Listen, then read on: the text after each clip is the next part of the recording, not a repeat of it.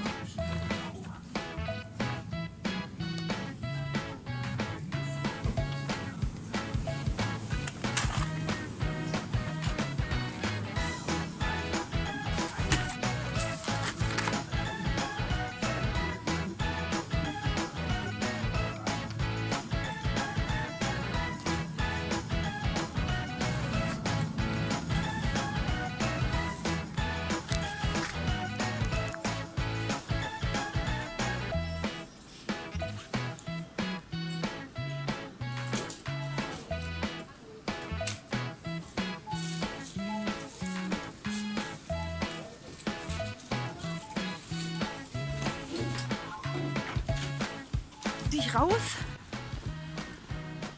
und latsch nach Hause bei dem Ekelwetter. Und es ist gar nicht so leicht, weil diese blöde Tasche so schwer ist. Ja. Ähm, ich wollte ein bisschen im Laden filmen. Also ein bisschen ist, glaube ich, gelungen. Ich weiß es nicht. Aber dann hat mir mein Handy gesagt, äh, Google zeichnet hier gerade Musik auf. Es wird kein, äh, die Kamera wird nicht aufnehmen. Ne?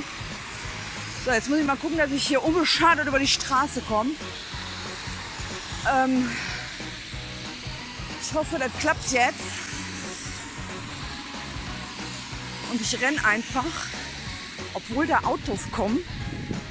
Aber ich habe keine Lust hier stundenlang rumzustehen und zu warten.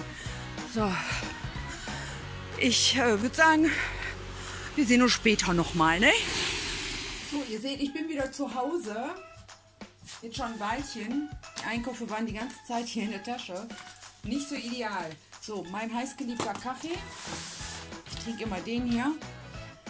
Vom Penny. Ansonsten trinke ich den milden vom Aldi. So, Gemüsezwiebeln. Die sind für den Eintopf. Die können direkt hier oben liegen bleiben den Kaffee räume zur Seite. Mettenden für meinen Eintopf. Möhrchen. Ich nehme immer die Bio-Möhren. Die hatte ich ja, ich habe vorhin gezeigt bei äh, Penny. Die kosteten jetzt, glaube ich, 99 Cent.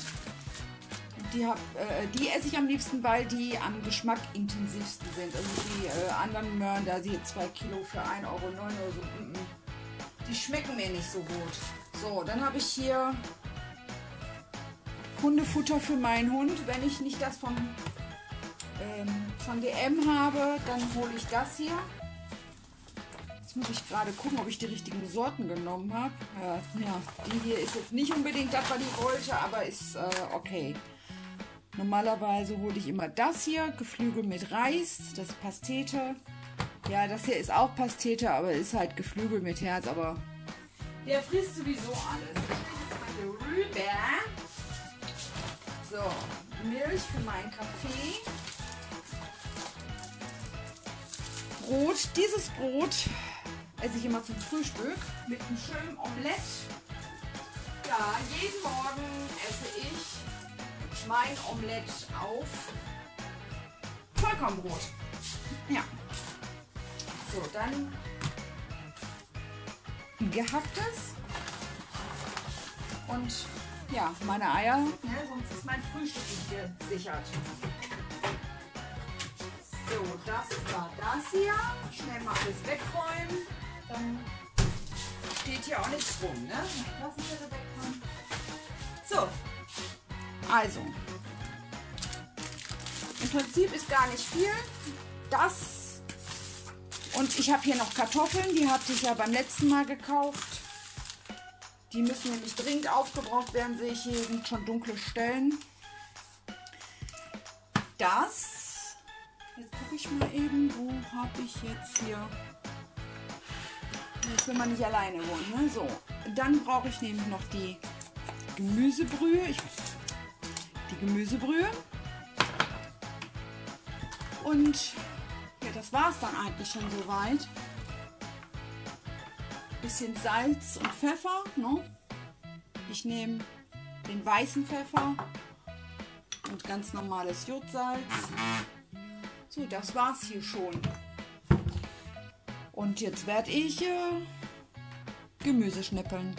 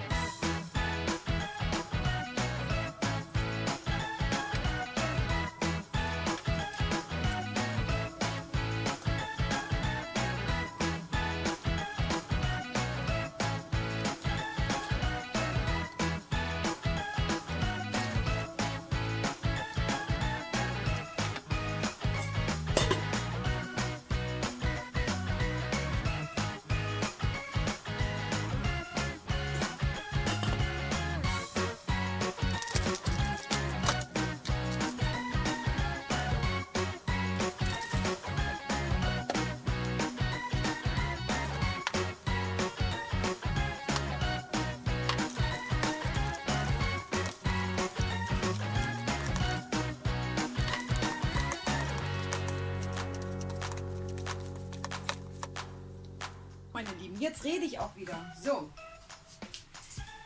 Das Ganze kocht jetzt erstmal so circa eine halbe bis dreiviertel Stunde. Darf das jetzt köcheln?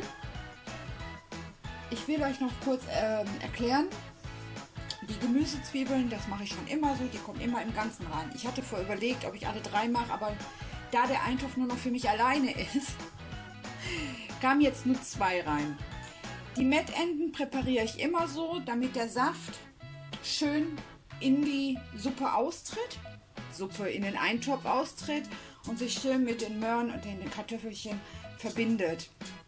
Dadurch brauche ich auch extrem wenig Salz. Also habt ihr gesehen beim gehacktes Mischen, da habe ich halt sehr wenig Salz nur benutzt, weil mehr brauchst gar nicht, weil diese Mettenden sind echt salzig genug und die Gemüsebrühe tut ihr Übriges. So, wie gesagt, das köchelt jetzt hier eine halbe Stunde bis dreiviertel Stunde vor sich hin. Und zwar so, bis die Zwiebeln durch sind. Die sollten ein ganz kleines bisschen Biss noch haben und die Mettenden sollten deutlich geschrumpft sein. Das äh, mag ich so gern daran, ne? Ja. Und erst wenn es soweit ist, kommt das Gehacktes hinzu und dabei nehme ich euch dann auch wieder mit. Ja. Deckel zu, ein Topf kocht. Ich kann mich jetzt erstmal um andere Dinge kümmern. so. Es ist soweit. Es ist soweit. Und zwar passiert jetzt folgendes. Das ist ja ordentlich am Kochen. Als allererstes versuche ich jetzt die, die Gemüsezwiebeln hier im Ganzen rauszubekommen. Und es klappt auch bei der ersten zumindest, bei der zweiten nicht ganz. Und ich sag euch, die sind so lecker. Ich schneide mir dann immer hinterher so viel Zwiebeln rein, wie ich brauche. Das gleiche mache ich mit den Mettenden, die schon auseinanderfallen. Genauso mag ich das. Oh, köstlich, köstlich. So. Hm? Also die habe ich mir jetzt an die Seite getan gehe ich einmal hin und rühre mir das Ganze hier ordentlich durch. Und jetzt passiert nämlich folgendes. Ich mache mein Gehacktes rein. Wie ich das mache? Moment. So.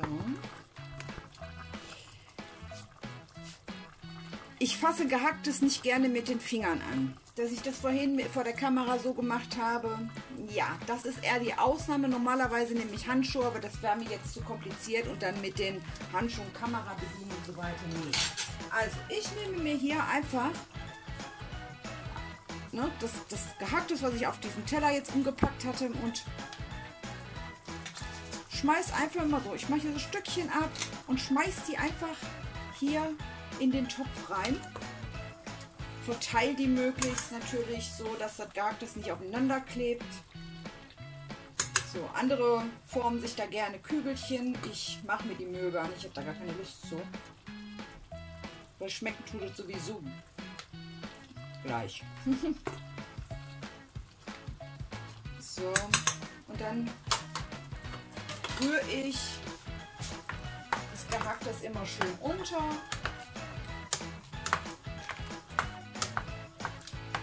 dass es dann schon angab und mir nicht immer gleich auseinanderfällt und auch nicht aneinander pappt. Ne? So.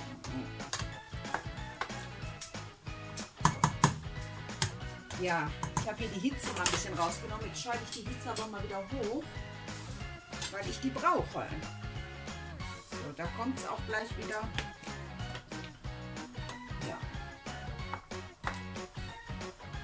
soll nämlich schön kochen.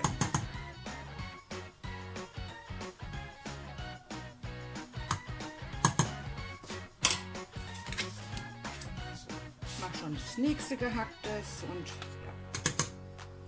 Was gibt es da jetzt schon großartig noch zu erzählen, ne?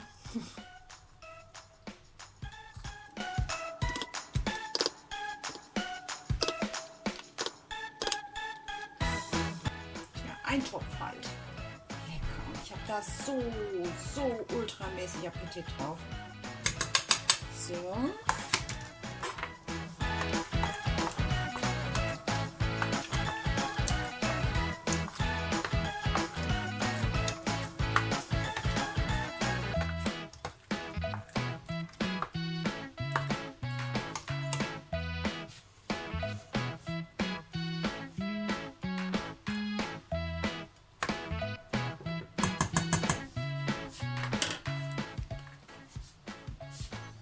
Köchelt es wieder.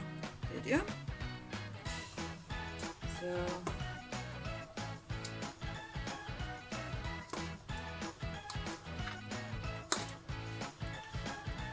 Liegt vor der Küche und guckt ganz verliebt. Der denkt, er kriegt hier nochmal gehacktes, aber das bekommt er natürlich nicht, weil das gewürzt ist.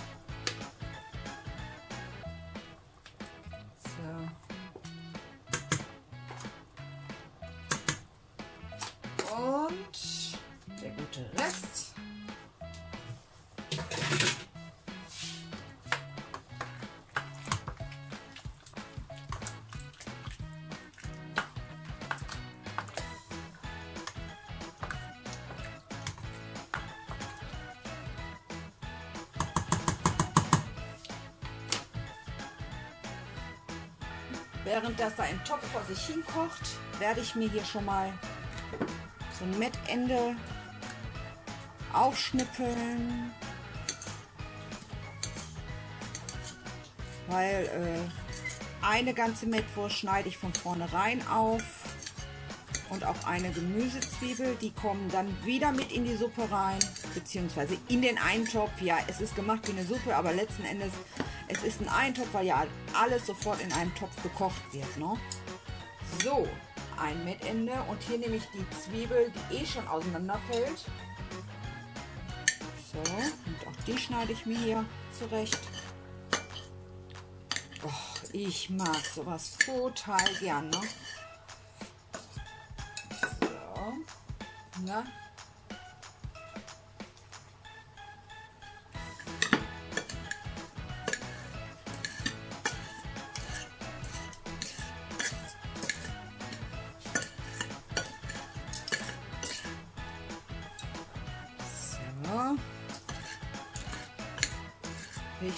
ordentlich Zwiebel. Das ist ganz nach Mutters Geschmack.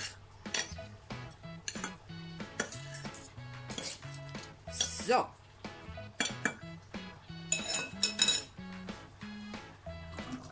Ja, wie gesagt, jetzt kommen die Zwiebeln und die Mettstückchen hier rein. Mettwurststückchen. Und Jetzt nehme ich auch die Hitze komplett raus. Also ich schalte den Ofen aus. Und das Ganze darf jetzt noch mal etwas vor sich hin köcheln. Und gut durchziehen. So, ich sag mal 10 bis 15 Minuten.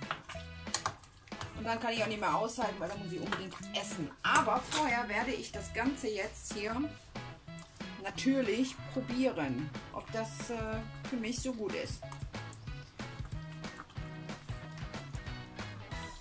Mhm. Ja, schmeckt super. Oh, ich muss noch mal probieren. Bin mir nicht sicher, habe schon wieder vergessen, wie es schmeckt. Ne?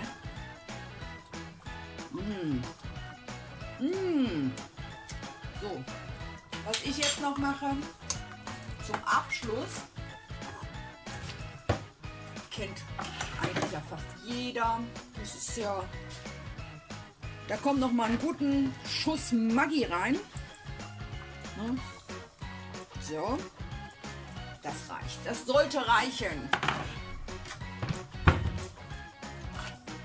Und ja, ich glaube, von diesem Eintopf kann ich sogar drei Tage essen, wenn ich das möchte. Und oh, der riecht toll. Schade, dass wir noch keine Gerüche transportieren können, ne? Per Video.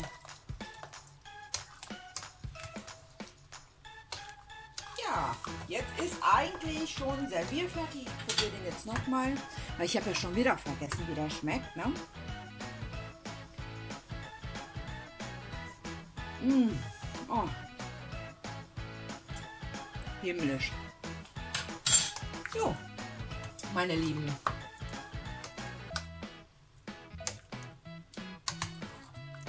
Das war's. Und äh, ja, falls ihr Lust drauf bekommen habt, das mal nachzukochen, falls ihr das, falls ihr das nicht kennen solltet oder diese Art nicht kennen solltet, dann wünsche ich euch viel Spaß beim Nachkochen. Und äh, ja, falls ihr das getan habt, verratet mir doch mal, wie es euch geschmeckt hat. No? Also würzen könnt ihr immer so, wie es euch beliebt, aber diese Machart, ja, die, ich glaube, die habe ich äh, erworben, teils durch meine eigene Mutter und äh, ja, den Rest habe ich mir dann selbst beigebracht. Ne? Bin ja schließlich selber Mami von drei Kindern, von drei erwachsenen Kindern inzwischen. Aber ich musste schließlich auch jeden Tag kochen. Da gab es kein Junkfood. Und ganz extrem selten mal Fastfood. Also meine Kinder äh, haben McDonald's als kleine Kinder nicht so häufig gesehen. Ne? So, das darf wie gesagt nochmal vor sich hinziehen. 10, 15 Minuten. Und dann werde ich mir mein gutes Essen einverleiben. Ich wünsche euch guten Appetit, meine Lieben. Bis zum nächsten Mal. Tschüssi.